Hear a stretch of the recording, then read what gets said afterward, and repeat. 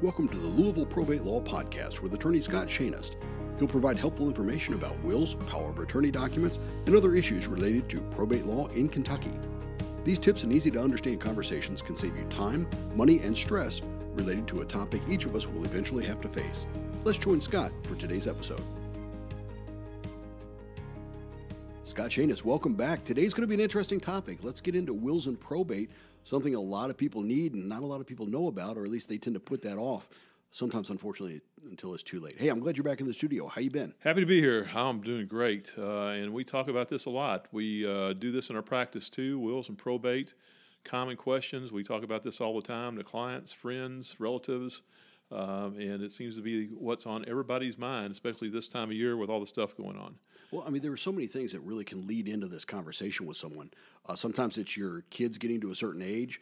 Sometimes it's you're looking at retirement and you really should have had this done already, so you need to, to scramble a little bit. And sometimes, it, for instance, in your workers' comp situation where you've got a substantial award coming in, uh, on behalf of a client, they need to kind of protect and think through those assets. And anytime some of these life events, even including a divorce, anytime any of these things happen, you might want to begin thinking about updating any documents that you already have. Is that a fair statement? That's a fair statement. All of those things make you think about this. But the other part about it is everybody's going to have to deal with this at some time or another. If you've gone through a divorce, you've got issues. But even if you don't go through a divorce, even if you don't have a workers' comp claim, uh, will, power of attorney, and living will directive are important for everybody.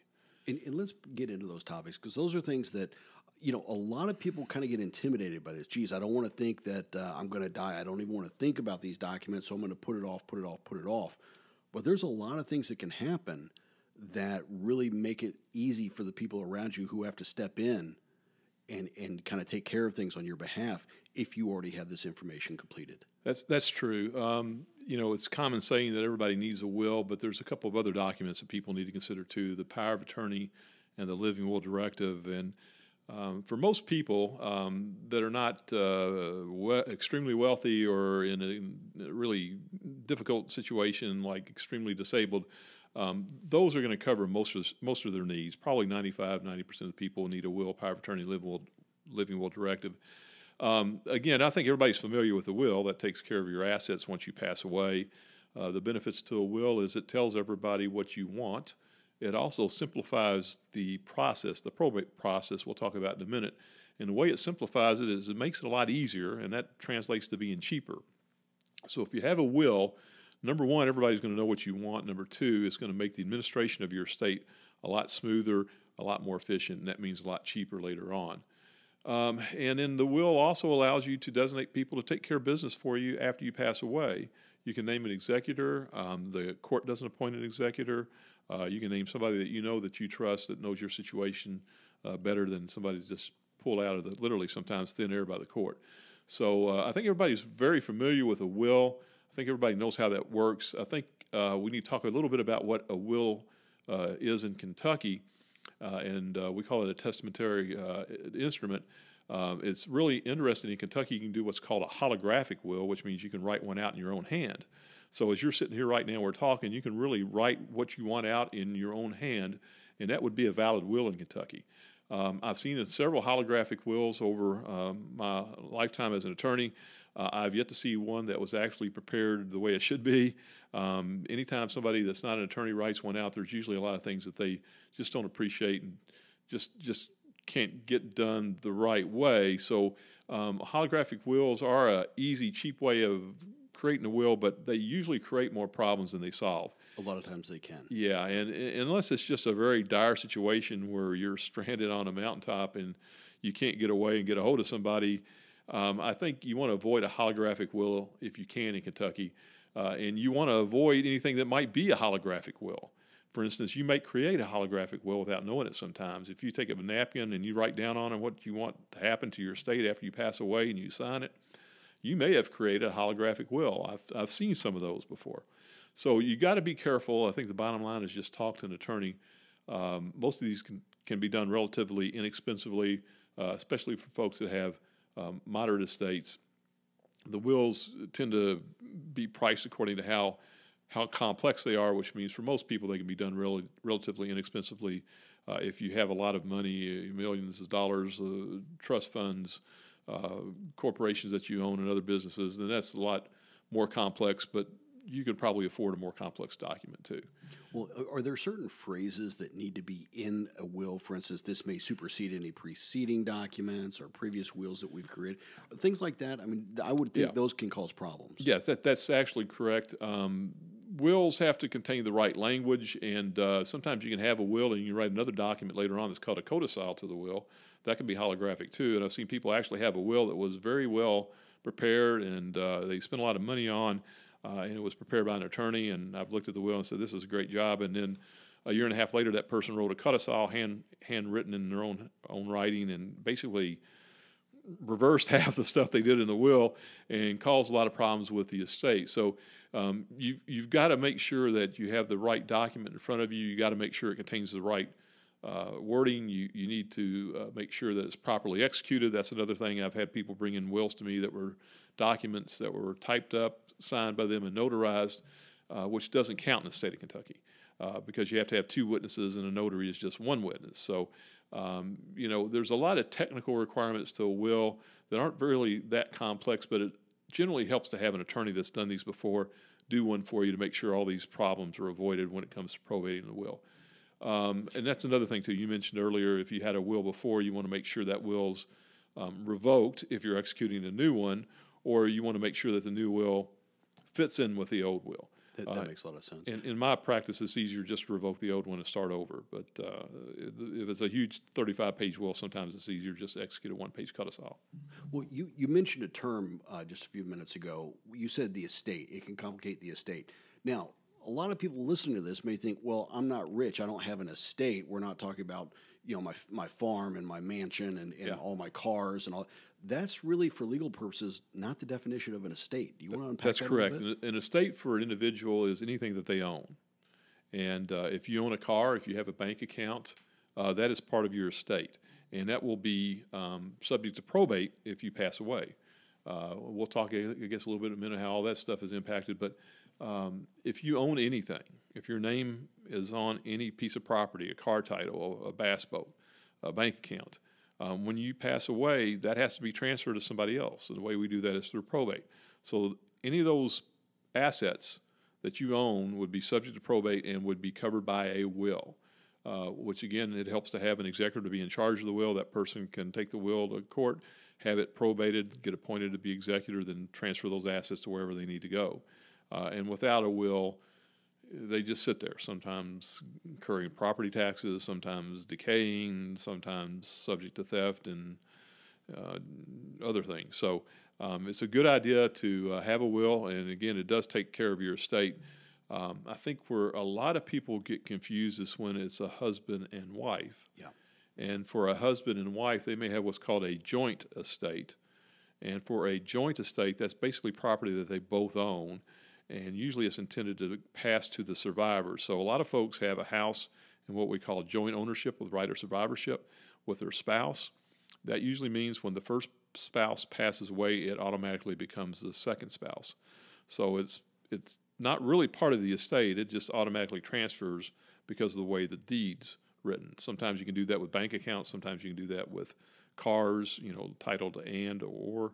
Um, so uh, that that doesn't usually become part of the the decedent's estate when they pass away. That usually passes on to the survivor. Uh, and people It's say, "Well, almost why?" as, it's almost as if they're co-owners, so it just exactly the, the what one just yeah. continues in that role. Yeah, yeah, and, and people go, well, why do I need a will then if I've got a wife or a husband? And well, we don't know who's going to pass away first, so we have a will where basically, you know, if somebody passes away, they leave everything to the spouse, and then when that spouse passes away, then we've got a, a record of where it needs to go.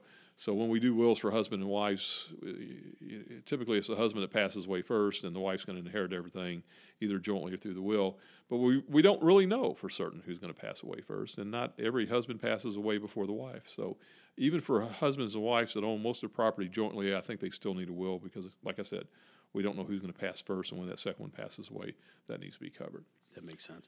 Let's uh, let's talk a little bit about something called a power of attorney. Yeah, I, I call it the triumvirate, triumvirate of the three documents most people need: the will, power of attorney, and living will directive. Uh, power of attorney, we like to call it POA. That's a document that allows you to designate an agent to take care of business on your behalf. And that power of attorney can be very simple. For instance, you just want a person to sign a deed for you, uh, and that's the only business they can take care of. Or it can be a very general document that can allow a person to take care of almost any kind of business that you might have bank accounts. Uh, you can do power of attorneys for the IRS, um, transacting with the insurance company, uh, representing you in a lawsuit if you've been hurt in a car accident, become disabled, um, taking care of business at the post office. Uh, almost any kind of business that you have can be uh, transferred over to a power of attorney to allow that person to take care of that business for you. And for most couples, I think most people don't realize that for husband and wife, the spouse does not automatically get to sign documents for the other spouse. Not in Kentucky. It might be different in other states. But if somebody's buying property, somebody's selling property, you can't just have one spouse there to take care of it. You have to have both spouses, or you have to have a spouse that has the POA power of attorney for the other spouse. So if the husband wants to go to Florida for five weeks and go on a fishing trip, you know, the wife can stay up here in Kentucky and take care of business for them while they're doing that. Uh, if the wife wants to go out to Colorado on a ski trip with, with some of her friends for a while, the husband can take care of business here. And well, why is that important? Well, sometimes interest rates go down, like they're doing right now, they're falling rapidly. Uh, you might want to refinance the house. If you can't do that in six or seven weeks, you might lose the interest rates. Uh, sometimes people just don't want to mess with things for a while there. Um, Metropolitan Sewer District was coming through, adding sewer lines to different properties, and they had to have both spouses sign the documents for that. If somebody was out of town on business or for whatever reason, and they weren't hooked up for the sewer for a while and had other problems. But um, what really becomes important for these power of attorneys is their use as we get older in life. And for most people, at some time in their life, they're going to be disabled for some reason. They're going to be in the hospital either for medical treatment, they're going to have some kind of significant disability as we get older, they might be in a nursing home.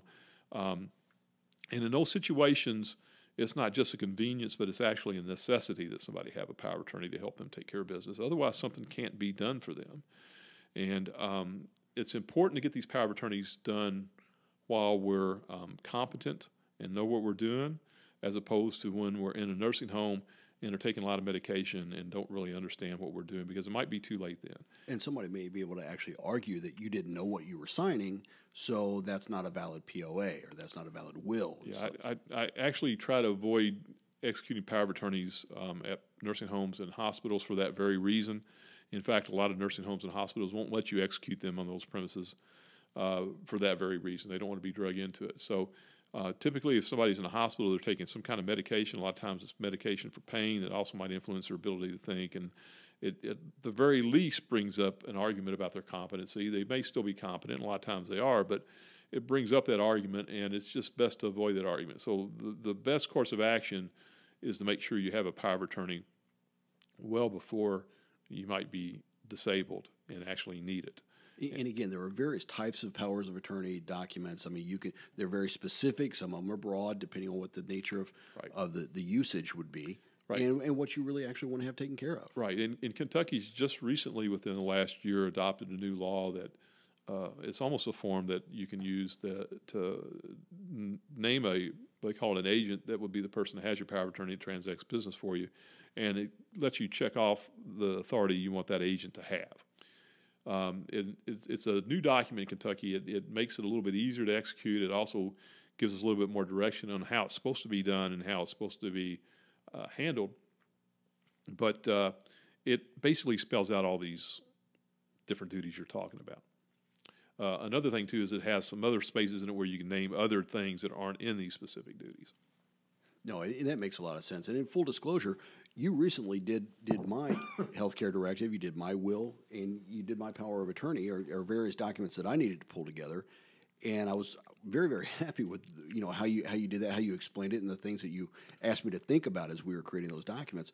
So much so that I also went back and brought in my college age son, and said, you know what, you're go- you're away at school, you're going to study abroad for the summer uh, let's get these documents in place. Do you want to talk about that? Yeah, you know, when somebody's got a child that's going to be going out of the country, um, there's all kinds of situations that can come up. There might be student loans that may, may need to be executed. There may be something to deal with with uh, the college they attend. There may be some other business going on. Well, if you've got a child in Italy it's going to be very hard to transact business here in the United States unless somebody has that power of attorney for that person. So if somebody's going to be out of the country for an extended period of time, uh, even if they're a student and don't have a whole lot of assets or don't have a business in their name, I think it's important for them to be able to delegate that authority to somebody else. We really don't know what's going to come up, and uh, you want to be prepared for just about any situation. And, that makes a lot of sense for me. And just just the fact that at this point, you know, my son was over eighteen. Legally speaking, my son is an adult, and so from that standpoint, I, I just thought it was a good idea to really think through that and say, look, you, you're an emancipated adult at this point. You got to have some of this because one, either your mom or I are going to step in and we need to some, have some direction here. One, to cut down on the drama because it's a very emotional situation. Yeah. You could be in a car wreck. You could be uh, all sorts of things can happen. Yeah, and so having the, having this already thought through just makes that process a little easier for the people that again have to step in. Well, and, and there's other things that could come up. Let's say there was a problem transferring funds from one bank to another while somebody's out of the country, and without a power of attorney, a lot of banks won't deal with anybody on this end of it. So um, there's just a lot of practical reasons for that. I recommend a power of attorney more than I do a will, uh, because chances are you're, you're going to need a power of attorney before you need a will. But then the power of attorney is also designed to help the person that signs it. That's really designed to make their life better, simplify their life, help things be taken care of for that individual. I tell folks the will is really for your family. It's nice to have that, but everybody needs a power of attorney. And, and can I rescind that power of attorney? A power of attorney can be rescinded at any time as long as somebody is still competent. So if you become disabled, you can't rescind it. But if you're competent and know what you're doing, you can rescind it at any time. Uh, just like you can revise your will if you decide to change your will. It's the same thing with a power of attorney. You can rescind it, uh, you can amend it, um, you can draft a new one. Uh, but again, I think that's probably more important than the will, and I would strongly recommend anybody that's an adult have one. Well, and these power of attorneys can also expire after a certain duty has been has been performed. For instance, if I live here in Kentucky, I'm going to move to Florida and sell my home, but I'm going to go ahead and head on down there. Yeah. Um, I could appoint the realtor or somebody to be my power of attorney. Just sign those documents so I don't have to come back for that, and then it and then it ceases, right? Yeah, exactly. You can put as many limits on a power of attorney as you want to. For instance, it doesn't start till January 1st, 2022. It expires on January 3rd, 2022. Um, it's only good for transfer in real estate. Um, it can be as specific as you want it to be. And, uh, you know, that's generally, there's two types of power of attorney. There's usually that one that's specific, where you have somebody transferring a specific piece of real estate for you. Or it's very broad, where you don't know what it's going to be used for, so you try to name as much authority as you can grant to somebody because you don't know what somebody's going to need later on. Uh, generally, you're going to name somebody as a close relative as an agent for one that's very broad that you trust. The one that's going to be more specific is be, going to be something more along the lines of taking care of some kind of business where, like you said, somebody transferring a piece of real estate or something like that. Uh, you'll know you'll get the deed, you'll know it'll be over with in a week or two. Uh, but there's a lot of situations that we don't even know about that might come up down the road. And for most people, I think if they've got a very close relative that they trust with that authority, it's a good idea to have a power of attorney. I tell folks when they execute one in my office, it's like handing the keys to your car, your house to someone. You only want to give the keys to your car, your house to somebody that you absolutely trust with that authority. Because they literally have the authority to sell your house, take the money, and go over to the casino in Indiana and spend it. Now, you would have a lawsuit against them, but if they don't have the money, you're not going to go anywhere. But they have that much authority. They can literally sell your house with the broad power of attorney. And so again, be specific and and choose somebody, select somebody whom you really trust and understands the situation and understands your wishes and, and what the expectations are. Yeah, if, if you're not going to give the keys to your house to somebody, you don't want them to be your agent for the power of attorney. Uh, the other document we talk about a lot is a living will directive. And this is basically a document that allows somebody to take care of uh, health care decisions for someone. This is also called a healthcare directive or an Yeah. advanced healthcare directive. I've, I've heard a lot of different names for it. Yeah, and, and the reason is every state's got a little bit different version of this. Um, in Kentucky, we call it a living will directive. Some other states, I think, call it advanced health care decisions. Um, there, there, there's a lot of different names. It depends on the state. But in Kentucky, again, we, we call it a living will directive. It's not a will in the sense that it comes in uh, after you pass away. It's a living will uh, that's designed to take care of uh, health care decisions while you're alive. Uh, it's uh, essentially a, a statutory form uh, that's been given us given to us by the legislature, and I, I tell folks it's like um, a power of attorney for healthcare. Basically, what you're doing is you're allowing somebody else to make healthcare decisions for you. Now, the way it's worded is it basically doesn't come into play in, unless you can't talk to the or can't make the decisions yourself to the healthcare providers. But um, it allows you, number one, to name what we call healthcare surrogates, people to make decisions for you. And number two, it allows you to either give them authority to make any kind of decision that needs to be made, or it gives everybody directives about what you want or do not want. For instance, you do want life sustaining nourishment or you do not want life sustaining nourishment. There are several options you can select on the state of Kentucky form. What I generally recommend to my clients is that they select the option where you designate surrogates, and uh, a primary and an alternate, and then you give those surrogates the authority to make any decision that might be made. That's any decision that might be made. And um, I don't like the specific options where you pick or or don't want health care treatment at specific, specific points. To me, um, those are just too uh, too specific. Um, you either get it or you don't. There's just too many gray areas in life. You know, um, there's too many options doctors can try. There's you know time that can be spent trying to do something else or waiting and if you tell somebody to do something or not doing it seems to me their hands are tied so if you give the individuals that your surrogates have been named as the authority to make those decisions. They can decide to try something, not try something, wait a couple of days, see what happens, talk to another doctor. It's just not an automatic no, we don't get this, or an automatic yes, we do get this. There's some discretion that's being given to these individuals. And in my opinion, that only works if two other things occur after you execute this document. Number one, um, you trust those people to make those decisions for you. You just don't want to name somebody off the street. You want to have a conversation with them too that you want something in a certain situation so they know what you want and they can respect your wishes. Uh, but I, I, like naming surrogates and then giving them all the authority they need to make certain decisions.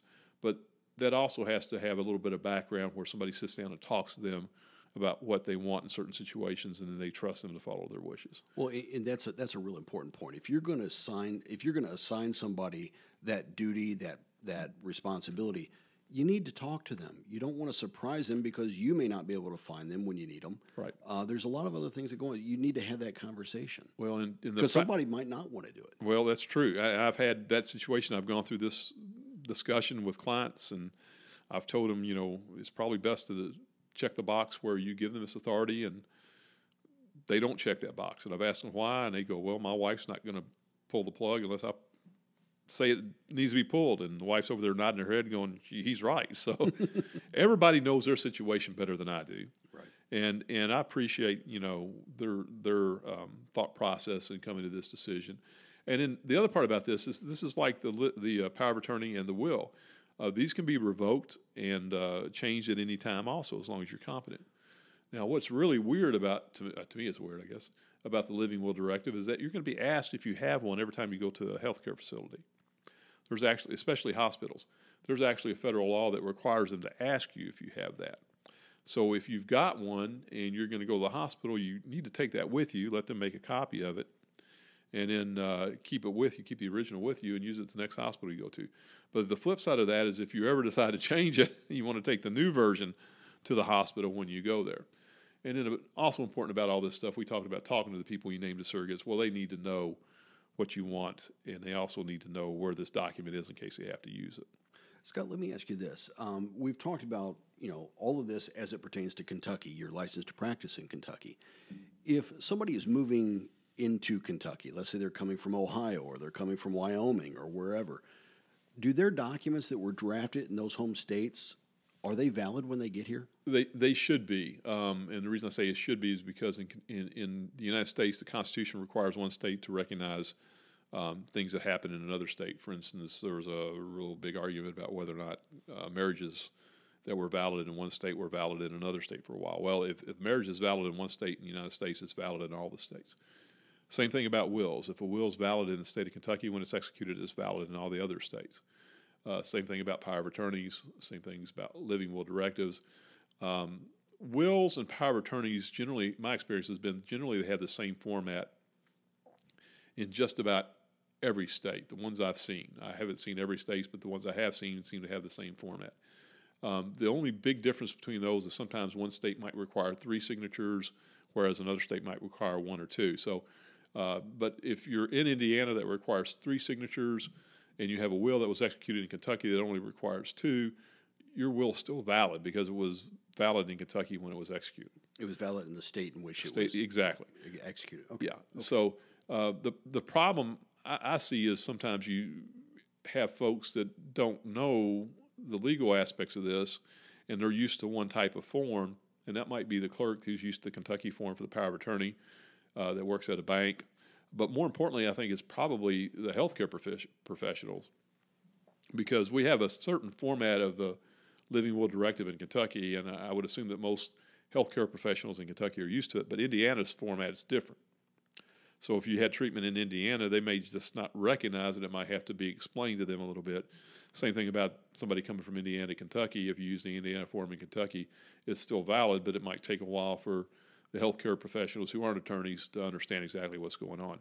But um, it is comity between two states. If the, if the document was valid in the state it was executed, then it's going to be valid in the other states where you go to. You may have to jump through a couple extra hoops, but it should Sure, be valid. sure. A- And again, because of the immense power that a POA or a living will directive actually con- conveys to the other person who's going to make those decisions, you really want to make sure that if you go through, for instance, a divorce, that you do sit down and remember, hey, I really need to update those documents. Yeah.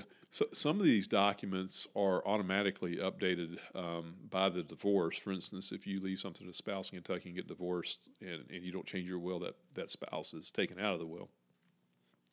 Problem is if you have other things going to other individuals that might have been somehow related to that spouse that you don't want anything getting now. So um, anytime you go through a divorce, it's always a good idea to have somebody look at all those documents you've executed before.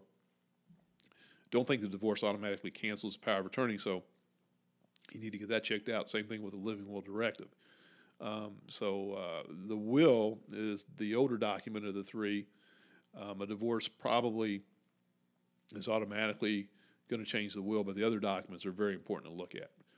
Um, That makes sense. I don't really want my ex-wife deciding whether or not to pull the plug. So no, it's, but I have folks that who that is what they want too. yeah, yeah. And, and that, so it depends on the individual uh, circumstances. Yeah, right? and, and it's hard for the hospital to figure out exactly whether or not you've been divorced, and if you Yeah. have been, if you want Yeah. the ex spouse. So um, the bottom line is probably execute a new set of documents once that happens. Yeah, that makes sense.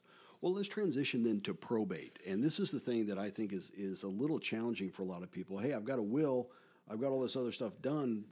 What's this probate thing all of a sudden? Probate's the way we transfer assets from somebody that's passed away and put those in the hands of the people that should get them.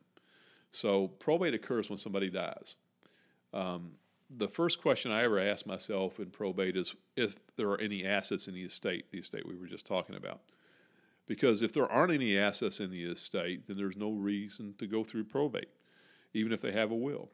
Um, it still may be a good idea to probate the will in case something's found, but if there's no assets, there's really nothing to take through probate.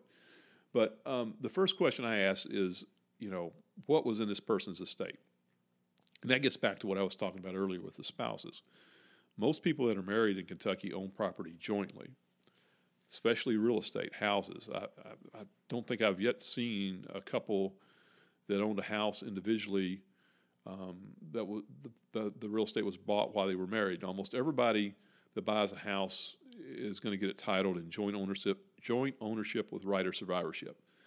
Um, and similarly, they'll have their cars that way. A lot of times, they'll have the bank accounts that way. And wh- what this means is they both own it, but the title of this asset's been set up in a way where if one of them passes away, it automatically becomes the other person's. And typically, it's the husband that passes away. So if the husband passes away, it automatically becomes the wife. If the wife passes away first, it automatically becomes the husband. Uh, most people will own almost all their property that way if they're married. So the first thing we look at, especially for married couple, is to see how they own their property. Uh, most of the time, the house is that way, so there's not really anything that needs to be done right now for the house. A lot of the bank accounts are set up that way, so there's not anything to be done that way. The car is set up that way, there's not anything to be done that way.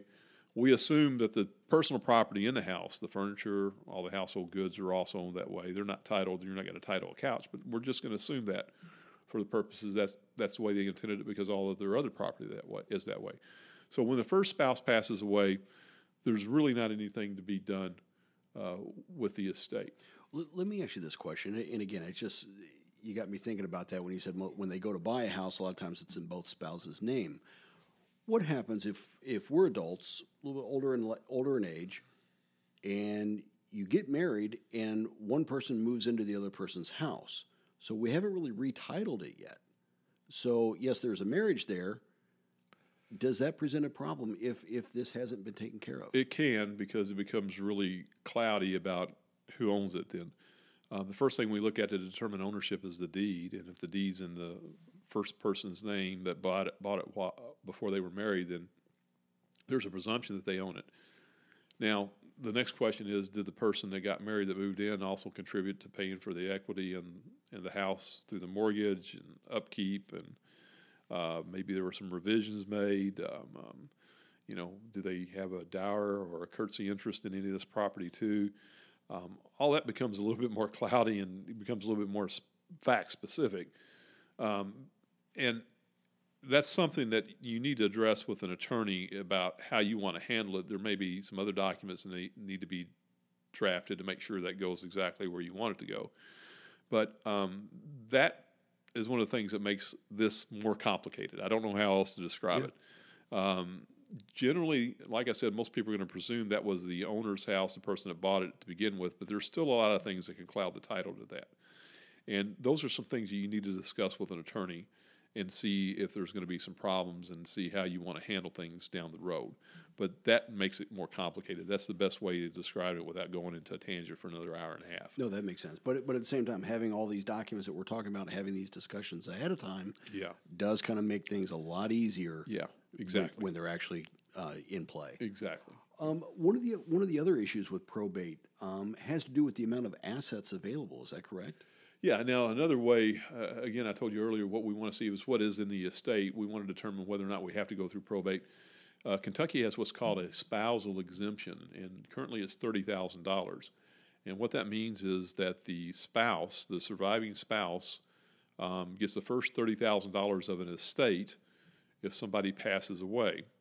Uh, and typically, where we see this is the house was owned jointly, the bank accounts were jointly, but the husband liked to do trading with the cars with the, the automobile dealership. So the car was in his name. Uh, and let's say he's got a Buick that's worth ten thousand dollars. Well, uh, that's in his name. He's passed away. Um, so the long way of doing it is go through probate, open up an account with the probate court, have an executor appointed, transferring that asset to the spouse. Um, that's complicated, expensive, and takes at least six months to do. Uh, because of the spousal exemption, we can use this $30,000 exemption um, to ask the court to dispense with probate. Basically, fill out one form, filing fee for the court, and we ask the court to transfer that one asset to the spouse. And the court says, okay, they got it $30,000. This is only $10,000. We'll go ahead and use this for that. And what that does is a couple things. Number one, it saves a ton of money uh, because you don't have to hire an attorney to go downtown, uh, open up the estate, which means you also got to run through the estate and close down the estate. Uh, so it saves a whole lot in legal fees, but secondly, it's a lot faster. Uh, once an estate's opened up, you generally have to wait six months for all the creditors to file proof of claims against the estate. Um, this allows the estate to be closed down very, very fast because um, the first $30,000 is going to go to the spouse no matter how many creditors are out there. And uh, it is just a lot more efficient, a lot easier and a lot cheaper to do it this way. Um, I, I, see this a lot, like I said, where the husband likes to trade with the cars. Uh, every now and then you'll have a bank account somewhere, uh, maybe some stocks, maybe some uh, money that was uh, set aside somewhere for some reason. Um, and as long as the total assets this individual owned are less than $30,000, we can do this dispense, which means that you can add the cost for a funeral to this too that's the debt of the state. So if they had a ten thousand dollar funeral, you can usually usually use up to forty thousand uh, dollars to dispense with probate. So the reason I'm bringing all this up, a lot of people aren't aware of it, um, but it's a really easy way to take care of something that's not really worth going through probate. For instance, if you've got a five hundred dollar car, it doesn't make sense to pay a couple thousand dollars to go through probate. That makes a lot of sense. Now, is there something that has to do with uh, if children are involved? Does that affect probate, or does that cause problems or make things more simple? Well, um, first of all, for that spousal ex- excuse me spousal exemption, the children can use that if if if both I don't know how to say this if the surviving spouse is the only one left. For instance, um, if it's a married couple and one of them dies, the surviving spouse can use the spousal exemption. If the first spouse has passed away and the surviving spouse passes away, then the children can use the spousal exemption. So they can use this $30,000 benefit also to transfer assets. And for folks that don't have a whole lot of assets in their name, $5,000 in a bank account, something like that, um, they may have been in a nursing home for a while. It's, it's another easy way to um, close down the estate, the estate inexpensively and without a whole lot of problems. No, that makes sense. So, um, if you've got to go through probate, let's kind of talk about the process. So, uh, assuming I've got a will, Yeah. kind of what happens? That's the best case scenario. I've already kind of thought about Right. this a little bit. So, Right. There's there's two things that happen with probate. One, if you got a will, testate it. Another, if you don't have a will, intestate. If you've got a will, then um, and we can't figure out a way to keep it from going through probate. What we do is we have to probate the will. We we take the will down the courthouse. Um, we have to figure out if the will is self-proving or not. If it's self-proving, and almost every will we do in our office is self-proving, um, the what, court what does that mean? Okay. Um, in Kentucky, a will can be self proving if it's witnessed by two people and then a notary witnesses the witness's signature. So it requires three people, and we actually have witnesses and then a witness to the witness that's a notary. And there's a, cou- a couple other things that have to be met, but um, if it meets the specific format of a uh, self proving will, um, it saves a lot of time and effort in probate. If it is not a self proving will, then we have to have the witnesses show up in court and testify that they saw this person execute it, which can be difficult if it's a 40, 50, 50 year old will. Um, sometimes you can find those witnesses, sometimes you can't, but it takes extra effort to find them. And even if they're available, they still have to be located. Uh, let them know that they need to appear in pro- probate court at a certain time, confirm they're going to be there. It, it takes a little bit more legwork to get that done. Uh, but typically, what I find in these self-proving, non-self-proving wills is we can't locate the witnesses. They were done in 1955. The witnesses are no longer around. If they are around, they're in a nursing home and they're infirm. In that situation, we've got to prove it's the testator's signature by two disinterested people that can prove they have seen that signature before and they believe it's the testator's signature. So what that requires is even more legwork. So if you don't have a self-proving will, you can count on a little bit extra time and more legal expenses trying to prove the will. Uh, assuming we get the will proven, self-proving or not, uh, and assuming the court accepts it, uh, the will normally will appoint an executor, and the executor is the captain of the ship for the estate, the probate estate. The executor is the person in charge. They're the person that signs all the documents. It's their decision about what to sell, when to sell it. Um, it's almost like a CEO of a corporation. In this case, the CEO is the executor, the corporation is the estate. So the executor is in charge of taking care of the estate, and their main duty, if there is a will, is to follow the terms of the will. Um, generally, that requires that debts be paid first. Uh, there might be some miscellaneous requirements in the will about you know giving fifty dollars to charity or something like that, making sure all those directions are followed, and then making sure the assets are distributed according to the terms of the will, and then they close the estate down. The executor has a fiduciary duty to make sure things are done properly. Uh, that means they have to make sure that things are handled in the right way, and they can actually be sued by the heirs if they're not. If there is no will, and um, the court has to appoint somebody to be in charge of the estate. In Kentucky, we call that person an administrator, uh, who basically has the same duty as an executor. Um, there's a couple problems with the administrator. First of all, we have to figure out who that's going to be. If you don't name an executor in the will and we've got to appoint an administrator, well, we've got to figure out who that is. And there's a statute that gives us a list of people that can be the administrator. For instance, your spouse, your parents. Um, where it gets to be a problem is if it gets down to the point where it's going to be brothers and sisters, and you've got seven or eight brothers and sisters. Um, let's say you've got seven brothers and sisters, they all have an equal right to be appointed administrator. Well, which one's going to be appointed? Well, the problem is they all have an equal right. So, in that situation, we try to get people that don't want to handle this to waive their right and name a certain individual just to make this a little bit easier. But if that can't be done, then the court has to figure out who's going to be the administrator. And usually, what they're going to do, if two or three people want to be the administrator, have an equal right, they'll make them co administrators. Which can be a problem if you've ever had three captains of a ship. You know, one wants to go north, the other one south, the other one east. So that generally tends to delay things, which means it's going to be more expensive and, and cost more if you've got multiple uh, administrators. Um, and sometimes you can't even find somebody that will be an administrator. And the court usually appoints somebody called the public administrator to do that, who's a private attorney here in, in Louisville, uh, which means they're going to charge you private attorney rates to take care of this business. And generally, somebody you point as an executor or a friend that's going to, a relative that's going to be an administrator, are not going to charge the same kind of fees. Uh, executors and administrators are entitled to a fee for the work they, they do. Um, generally, it's limited to five percent of the personality of the state. It can be more in certain certain situations. What, but, what does that mean? The personality of the estate? Um, not real estate. Okay. Okay. Yeah, and and you know, if somebody owns five million dollars in uh, CDs and all the administrator does is cash those in, generally the court's not going to let them have five percent of that as a value. Uh, the work has to be reasonable too, but um, it's nice to have somebody you trust be in charge of things it's nice to name that person in the will. Um, I always have the question, you know, I've got three kids. I want to name them all as co-executors, and I usually say, well, pick out one of them. The other two will thank you later on if you don't name them, if they ever understand exactly what the executor has to do.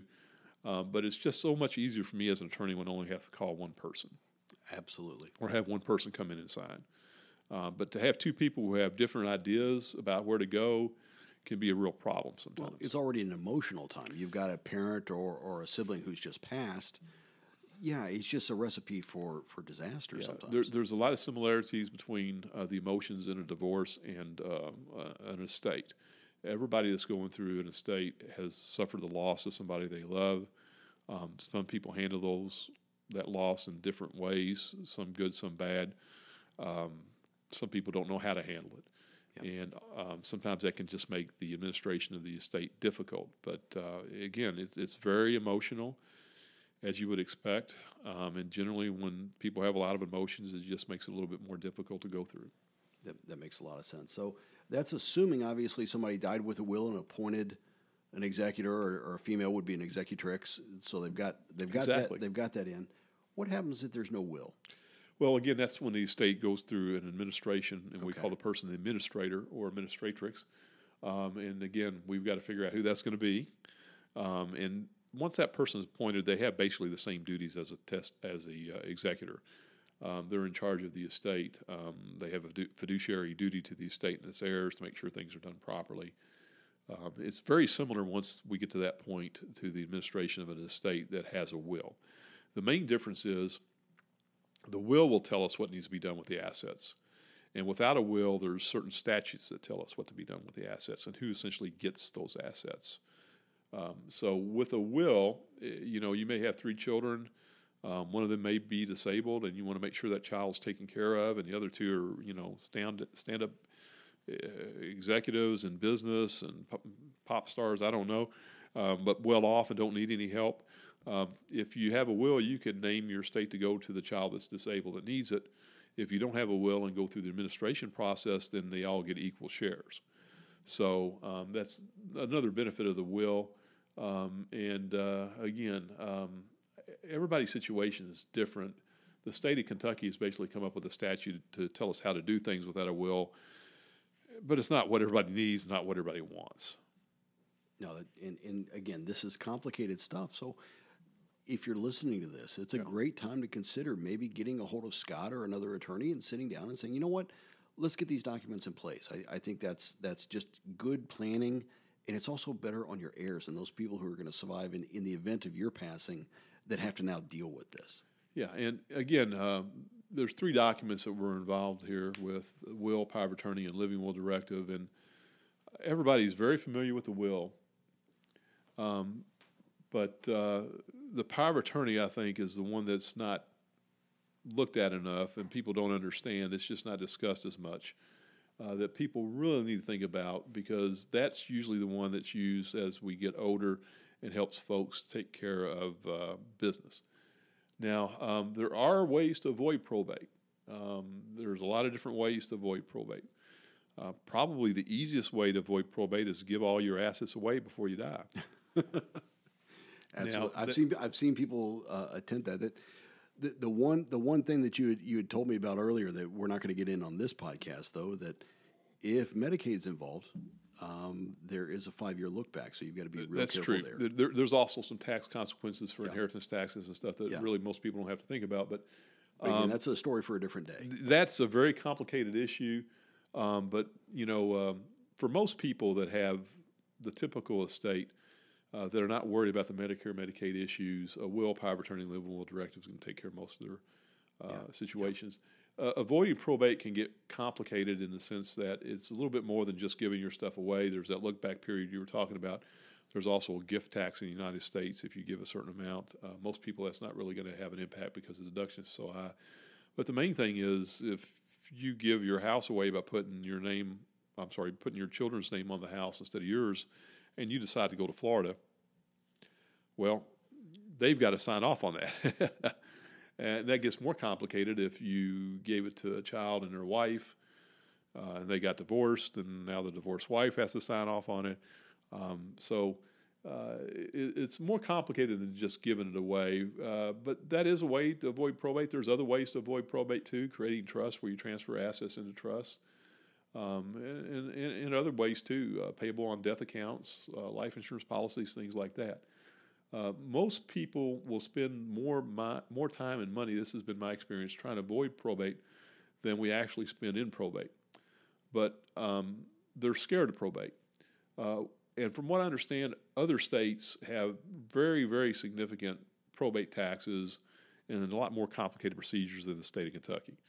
Um, for Kentucky, there's really no inheritance tax if the estate's going to a close relative like a spouse or a child. Um, there's some federal inheritance taxes that right now kick in a little bit over $10 million, but for most people, that's not going to be a worry for them. Uh, other states, especially the ones up northeast, have more significant probate taxes.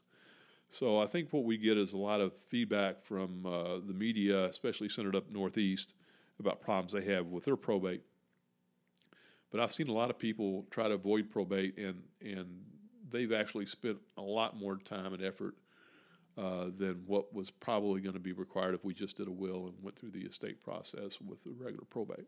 No, that makes sense, Scott. Uh, again, I appreciate all this information because I mean, as you're as you're well aware, it wasn't that long ago that you and I sat down and prepared all these documents. And one, I sleep better. One, I, I know my kids. You know, I've sat down and discussed with them you know what the situation is, so they're aware of it and they know where the documents are. They know you know what they need to do and what what's you know how things are going to for the most part play out. And you know, I just again I, I sleep better knowing that I've taken some of the responsibilities off of their shoulders and I've written them down so that they know okay this is what Dad wanted, this is you know what he intended, and hopefully that's going to save a lot of problems down the road. Sometimes families you know, really break apart uh, over the, the, the silliest of things. And I'm trying to really, really, you know, avoid that. Well, in, in uh, that's a perfect example of why it should be done, what you just mentioned. Everybody that executes a will, you can almost see them go, ah, afterwards. Um, and uh, a lot of people put it off, um, put it off really too long, to be honest with you. Uh, but again, um, the power of attorney, I want to bring everything back to that uh, because uh, that is the document that's designed really to help you while you're alive. And it seems to be underappreciated by a lot of people and probably is the one document I don't see used that should be used a lot more. I think so. Well, my friend, I, I, once again I appreciate your time. Thanks for sharing your thoughts on this topic, and we'll talk to you next time. Enjoyed it. Thank you. Take care. Bye bye. Thank you for listening to this episode of the Louisville Probate Law Podcast with attorney Scott Scheynost. The content provided is for informational purposes only and does not establish an attorney client relationship. For additional information, visit LouisvilleProbateLaw.com.